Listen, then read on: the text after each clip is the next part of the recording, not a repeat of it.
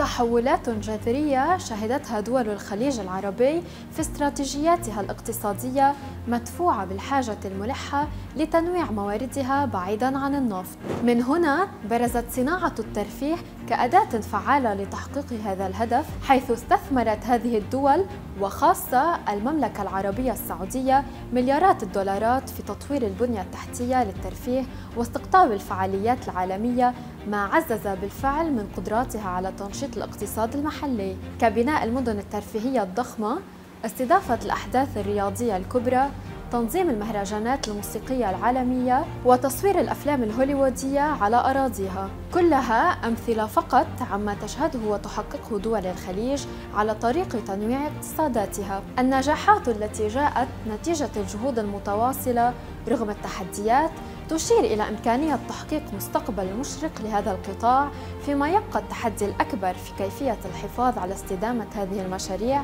وضمان قدرتها على تحقيق الأهداف الاقتصادية والاجتماعية المرجوة على المدى الطويل. ولتعزيز استثماراتها لجأت دول الخليج إلى استخدام التكنولوجيا الحديثة في تصميم وتنفيذ المشاريع الترفيهية وتطوير برامج تدريبية للشباب لتأهيلهم للعمل في هذا القطاع. مثلاً السعودية اتجهت الرياض بقوة نحو صناعة الترفيه مما مكنها من منافسة الدول العربية الأخرى في هذا المجال. هذا الأمر انعكس على المبادرات التي أطلقتها كموسم الرياض وموسم جدة التي مثلت إلى جانب فعاليات أخرى نماذج بارزة للتطور الاقتصادي والثقافي في المملكة فمثلا موسم الرياض شكل أحد أبرز المشاريع الترفيهية التي أطلقتها السعودية بهدف تعزيز السياحة الثقافية والترفيهية حيث تبلغ تكاليف تنظيمه نحو 6.4 مليارات دولار بين تنظيم عروض موسيقية، فعاليات ثقافية وأنشطة ترفيهية متنوعة تستهدف جذب الزوار من داخل وخارج المملكة. أيضا موسم جدة الذي أعيد إطلاقه بعد فترة توقفه بسبب جائحة كوفيد-19 نجح في إحياء السياحة الترفيهية في المدينة وجذب السياح والمستثمرين بميزانية ضخمة تجاوزت 2.6 مليار دولار. هذه المشاريع وغيرها هدفها تحقيق رؤية 2030 ومن بين القطاعات الرئيسية التي تستثمر فيها المملكة بشكل كبير قطاع الألعاب الإلكترونية.